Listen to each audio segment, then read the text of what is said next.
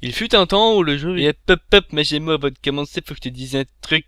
Faut pas que tu dises des trucs négatifs, sinon les gens ils se marrent et puis ils se barrent. Un douille. Non mais c'est le principe d'une critique en même temps. Euh... Et pourquoi c'est toi qui me dis ça d'abord? Mais je sais pas, peut-être que t'es le seul personnage que tu sais bien imiter que les gens connaissent. T'es en train de me dire que je risque de perdre des abonnés, mais tu sais bien que je m'en fous, hein, c'est les vues qui me manquent dans les critiques. Ben je change de concept alors Pourquoi pas imiter des gens connus. Et c'est le personnage le plus con du monde qui me dit ça. Bref, je vais commencer ma critique d'Alan Wake, moi. Ouais, vas-y, moi je vais boire une... Ah! Y a plus de bière. Trop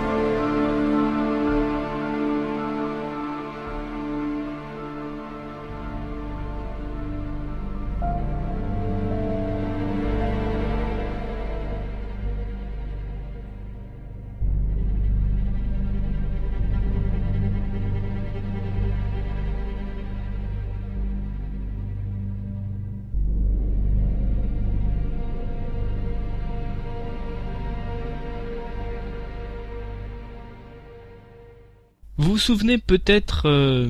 Parce que moi j'achète quasiment aucun jeu sur Steam. Époque révolue parce que plus on passe son temps sur Steam, plus on achète de jeux, plus on y a des putains de promos comme celle de 90% sur la licence Alan Wake.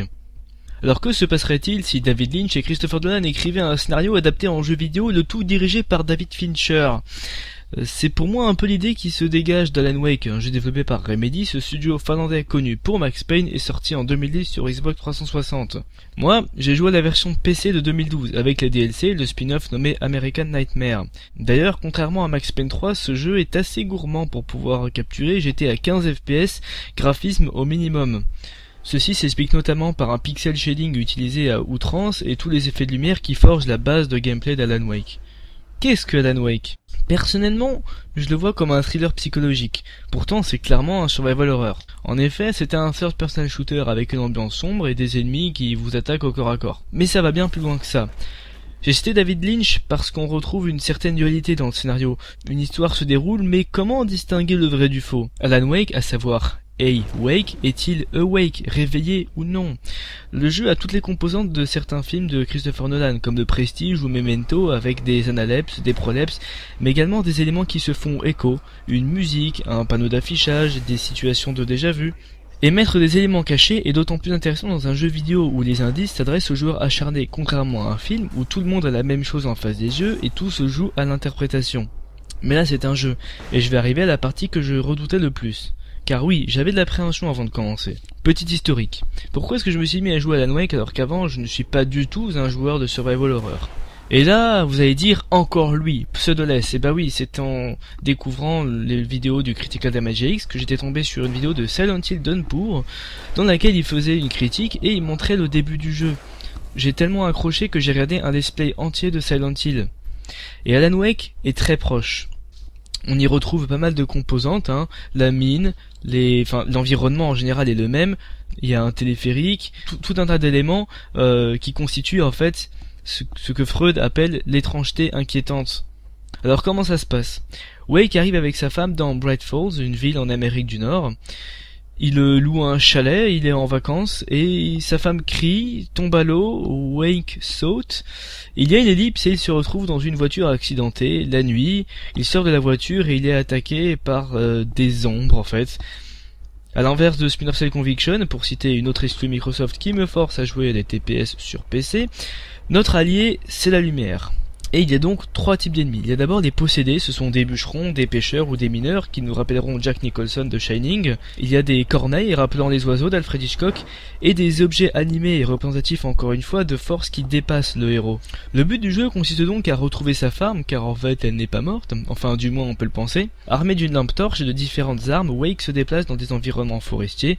On pourra parfois écouter à la radio, lire des panneaux, trouver des télévisions qui diffusent des émissions paranormales raconter des personnages plus ou moins énigmatiques, ce qui rappelle encore une fois Silent Hill.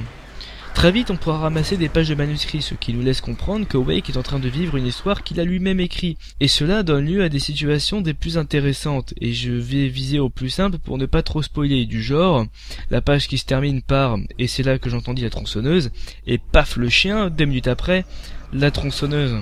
D'ailleurs, certaines pages ne sont disponibles qu'en mode de difficulté cauchemardesque, donc les joueurs acharnés ont plus d'indices que les autres. Les cinématiques de ce jeu sont splendides à l'image de sa narration que j'ai trouvé parfaite. Les musiques, quant à elles, bah, sont vraiment très bonnes, même si on a l'impression qu'il n'y en a que deux en jouant, que ce soit en exploration ou en combat, je les ai trouvées vraiment exceptionnelles.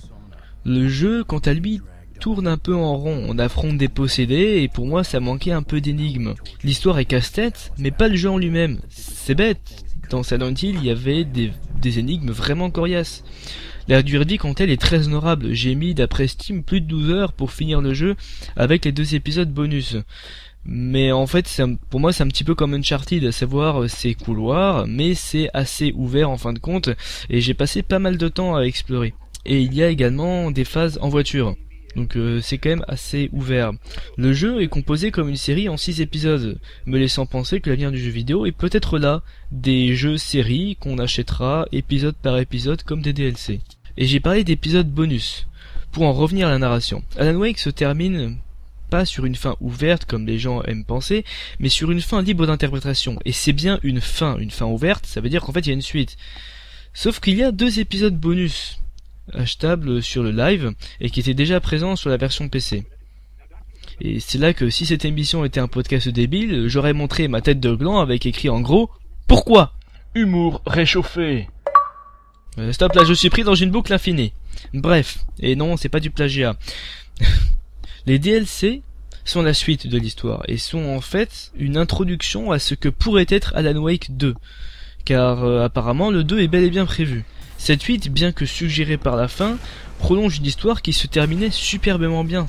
Il y a des mécaniques de gameplay en plus qui sont intéressantes, mais on sent vraiment que ça aurait dû arriver directement pour le 2.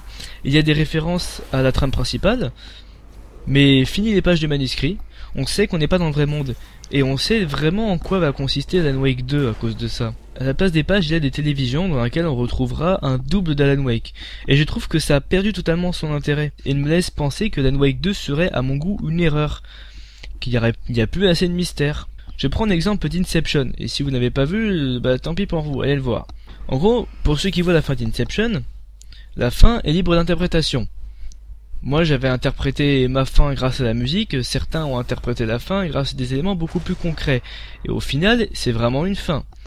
Bon, là c'est un petit peu comme si après le générique, on voyait la toupie qui continuait de tourner, et que Inception 2, ce serait comment Leonardo DiCaprio va-t-il sortir de son rêve? C'est exactement pareil pour Alan Wake, enfin c'est vraiment l'impression que ça m'a donné. Pour moi c'est ruiner une belle œuvre, et je ne voudrais pas que Alan Wake 2 soit un banal jeu d'horreur. Mais c'est ce qui risque d'arriver au vu de DLC. Ceci dit, on attend toujours le prochain projet de Remedy qui n'a pas encore été annoncé. Pour ce qui est du spin-off Alan Wake American Nightmare, je le prends comme ce qu'il est, c'est-à-dire un jeu à part entière. Au-delà du fait qu'on a perdu toute la notion mystérieuse de base, il y a quelques petits points forts que je souhaite souligner. Ça reprend l'idée selon laquelle on vit une histoire écrite par son double maléfique.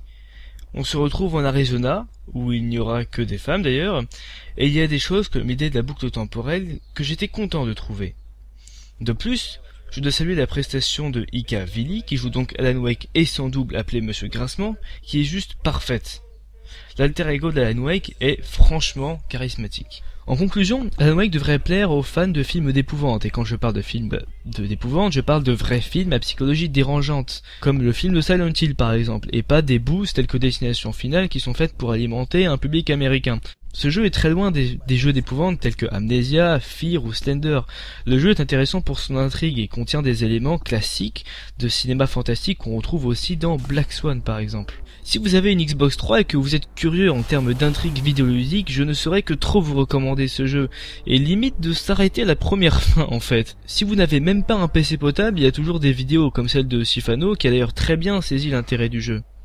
Alan Wake pourra faire partie de ces ovnis vidéoludiques, une œuvre d'art si tant est que le 2 ne vient pas salir l'image de la licence. Alors également, sur PC, le jeu disponible en VO, sous-titré français, si possible, jouez-le en VO. Vous savez, pour moi, la VO, c'est la vie, et pour Alan Wake, ça vaut vraiment le coup. Et en plus de la VO, et ça c'est un truc qui était sans doute dans mon pack euh, Steam, euh, il y a les commentaires vidéo des développeurs à activer pendant le jeu. Et ça, j'ai pas encore tout fait parce que il faudrait refaire le jeu entièrement, quoi. Et comme je ne trouvais pas les mots pour conclure honorablement cette critique, j'ai décidé d'utiliser la fin euh, d'un youtubeur, d'un ancien ami, quelqu'un que 90% euh, des auditeurs vont reconnaître. Euh, je lui ai pas demandé si je pouvais la prendre, mais je vois pas pourquoi ça le dérangerait. Euh, ses réactions après la première fin du jeu. Voilà Il n'y a rien d'autre à dire ce jeu est, est absolument fabuleux. Voilà quoi. Qu'on vienne plus jamais me dire que le jeu vidéo, ce n'est pas un art après ça, après cette fin.